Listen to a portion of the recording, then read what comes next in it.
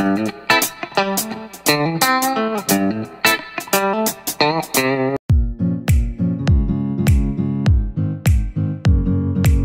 vídeo de hoje é para quebrar o mito sobre comida cozida e proteína animal, levando os seres humanos a ficarem mais inteligentes. Bom, já começa se cadastrando aqui no canal e apertando o sininho para receber todas as nossas notificações. Ouço essa pergunta já há quase 13 anos, desde que eu virei crudívoro. Comida cozida teria nos tornado mais humanos, mais inteligentes ou proteína animal, foi a carne? É, vamos então analisar os dados? Primeiro de tudo, as pessoas começaram a falar isso devido à pesquisa da é, Suzana Herculano, né? Ela fez um TEDx e acabou ficando famosa pelo assunto. E também tem um livro é, chamado em inglês Catch a Fire, é, How We Became Human, é como é, pegando fogo, como nós nos tornamos humanos, é alguma coisa assim a tradução. Paleoantropologia. De acordo com essa pesquisa publicada pelo Dr. Alan Walker em 1980, ele, e que foi publicada até mesmo no New York Times, os dentes mostram que fruta era a base. E é, o nome da pesquisa é Dieta e Dentes, é, hipóteses dietéticos e a evolução humana. O padrão dietético mais congruente com os microdesgastes é frugívoro. Os, os microdesgastes nos dentes molares de quase 20 robustos australopitecos da África são idênticos aos de chimpanzés, orangotangos e mandrills dentro das famílias taxonômicas. Folívoros têm cérebros menores que frugívoros. Então a gente já começa a analisar aqui que os animais que comem frutas têm um cérebro maior em relação dos que comem mais folhas. Né? Os folívoros são os, os primatas que comem, têm sua dieta mais baseada em folhas, os frugívoros são os que comem mais frutas, mas também comem vegetais.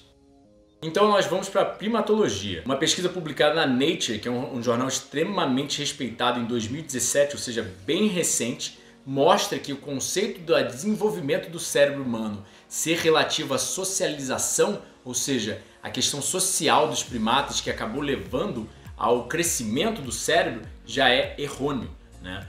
Como nós podemos perceber aqui, a hipótese do cérebro social coloca que a complexidade social foi o fator primário de complexidade cognitiva nos primatas, e a pressão social ultimamente levou à evolução do grande cérebro humano. Aqui Nessa pesquisa, mostramos que o tamanho do cérebro é predito por dieta, ao invés de socialidade. Especificamente, frugívoros mostram cérebros maiores que folívoros, ou seja, mais uma pesquisa alegando o mesmo, né?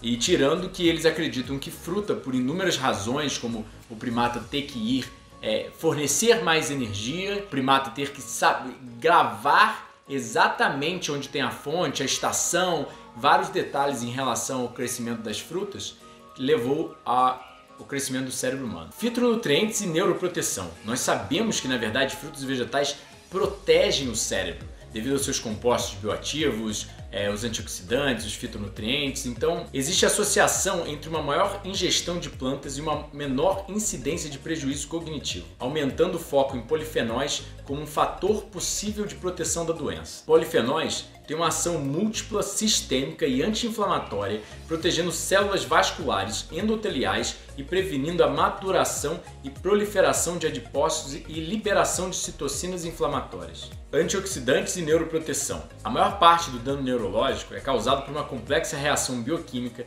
tais como agregação proteica, reação de radicais livres, fornecimento de sangue insuficiente, excitotoxicidade do glutamato e estresse oxidativo. Antioxidantes têm uma propensão de bloquear ou atrasar a apoptose, a morte programada celular. Muitos relatórios sugerem um efeito terapêutico de vários antioxidantes naturais contra doença cerebral isquêmica. Insuficientes níveis de antioxidantes, inibição de enzimas antioxidantes, causam estresse oxidativo que levam a dano na estrutura celular e função e inflamação crônica excessiva. AIDS e atrofia cerebral. Se você não sabe o que são os AIDS, são os subprodutos da glicação avançada, uma das toxinas, uma das 420 substâncias tóxicas produzidas pelo cozimento, mas é uma das mais estudadas. E, infelizmente, a gente não tem muitos dados sobre várias das outras, assim, mais frequente em pesquisas, né? Mas aumento nos níveis de MGO, ou seja, metilglicosal, um dos AIDS, foram associados com pior memória e função executiva. Maior ingestão de metilglicosal foi associado com redução da massa cinzenta cerebral. Os AIDS se ligam aos seus receptores, os RAIDs, Receptors for Advanced Glycation End Products, levando a uma constante ativação de citocinas inflamatórias e estresse oxidativos. E em pacientes com Alzheimer, diversos marcadores de AIDS e danos a proteínas são encontrados elevados em fluido cerebroespinhal. Glicotoxinas orais e demência, ou seja, as glicotoxinas são os AIDS, né? são a formação, a agregação que ocorre entre carboidratos e proteínas, né? quando nós cozinhamos. É, subprodutos da glicação avançada promovem esclerose múltipla e neurotoxicidade. Supressão da CIRT1 proteína que controla regulação celular, longevidade, reação a fatores de estresse, etc., é uma peça-chave na defesa de doença, da doença de Alzheimer. Esclerose múltipla e diabetes correlacionados ao envelhecimento são causamente associados à supressão da CIRT1, parcialmente devido a glicotoxinas antioxidantes, os AIDS. Mudanças na dieta moderna geram excessiva quantidade de AIDS presas aos nutrientes, tais como metilglicosal, a esclerose múltipla em humanos pode melhorar após a restrição dos AIDS. Apesar da pesquisa não citar, a maior formação de AIDS ocorre, na verdade, em proteína e alimentos gordurosos, ou seja, em alimentos proteicos e gordurosos, e menos ainda em carboidratos. Mas ainda assim, carboidratos se formam. Então, qual é a forma ideal de não produzir os AIDS e todos os outros subprodutos da reação de Maillard que também têm neurotoxicidade, que nós já sabemos, né? Não cozinhando comendo a comida como sai da horta, obviamente ela vai ser menos tóxica porque o fogo ele destrói, ele não constrói. Consumo de produtos de origem animal e demência. Pessoas que comem, ou seja, um, um estudo, é, descobertas preliminares do estudo de adventista de saúde. Né? Eles usam muito, os estudos nos adventistas sétimo dia de Loma Linda na Califórnia são excelentes para analisar dados, né? Já que é, eles cortam várias variáveis e a única variável que tem entre eles é o consumo de é, proteína animal. Então, pessoas que comem bastante carne têm três vezes mais chances de desenvolver demência comparados a vegetarianos de longa data. Cientistas sugerem que é uma baixa ingestão de antioxidantes e fitonutrientes. E aí a gente entra com um estudo bem, bem antigo, que é comida cozida e degeneração. Nascimento da epigenética e efeitos transgeracionais do Dr. Francis M. Pottinger. Ele literalmente escreveu um livro, Os Gatos do Pottinger, mostrando que quanto mais comida crua ele alimentava os animais, mais eles se tornavam saudáveis, fortes, robustos, até mesmo o tamanho do crânio era maior, né?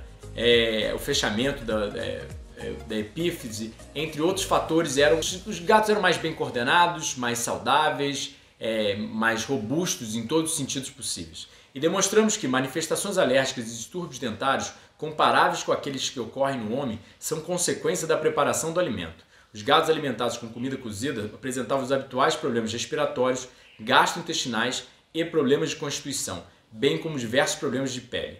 Ossos frágeis, agressividade, perda de peso, perda da capacidade reprodutiva e dimorfismo sexual, aumento de natimortos, perda da coordenação motora, entre inúmeros outros fatores que só iam se prejudicando a cada geração.